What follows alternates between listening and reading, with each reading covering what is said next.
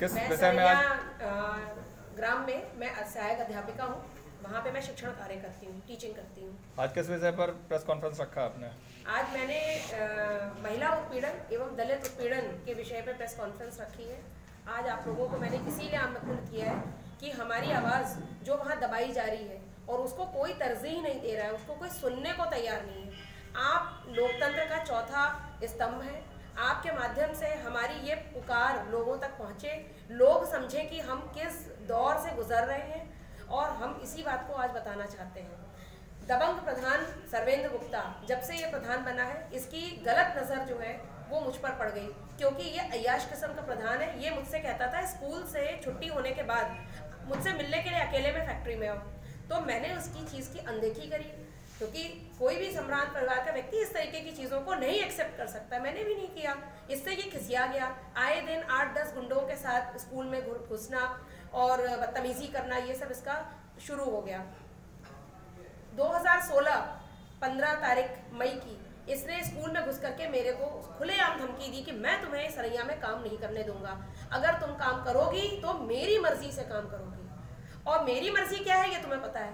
तो मैं वहाँ से उठ करके मैं तत्कालीन डीएम साहब के पास मिली, उनको आख्या दी अपनी। उसके बाद इसके ऊपर जो भी जाँच वाँच होनी थी, वो तो हुई। मैं इस संदर्भ में माननीय हमारे कद्दावर नेता जी हैं, नरेश अग्रवाल जी, मैं उनको भी मिली, उनसे भी मैंने अपनी समस्या रखी। तो उन्होंने इसको बुला करके डांट दिया। मतलब फ़ोन पे डांटा। तो मुझे लगा कि शायद ये सुधर जाएगा। लेकिन यकीन मानिए ये सुधरा नहीं। ये इसकी बदतमीज़ियाँ और बढ़ती चली गई। अब ये हालत है कि इसने मुझे अभी ये परेशान करता रहा। मेरे खिलाफ फर्जी जो भी कर सकता था उसने सब कुछ करा। तीस सात 2018 को इसने मेरी गाड़ी पर हमला किया। मेरी गाड़ी क्षतिग्रस्त हो गई। मैं बाल बाल बच गई। वहाँ से कुछ लोगों को आते देख के ये तो रफा चक, रफू चक्कर हो गया। फिर मैं गई कोतवाली गई। मैं एसपी साहब के गई डीएम साहब के पास गई, लेकिन मुझे किसी भी प्रकार का कोई रिलीफ नहीं मिली। मेरी तो एफआईआर भी दर्ज नहीं हो रही थी। क्या मैं फ़ोन पे कर? हम्म और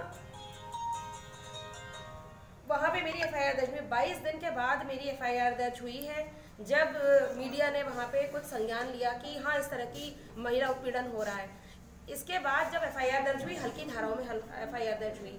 लेकिन उसकी आज तक गिरफ्तारी मुख्यमंत्री से आपने शिकायत की अभी तक? मैंने सर हर लेवल तक शिकायत कर। ली मेरे पास क्या कोई आश्वासन नहीं मिला अभी तक किसी भी तरीके का मुझे कोई ऊपर से सर जो भी आदेश आते हैं वो नीचे आकर के दबा दिए जाते हैं। सौ बात की एक बात मैं आपसे सामने रखती हूँ।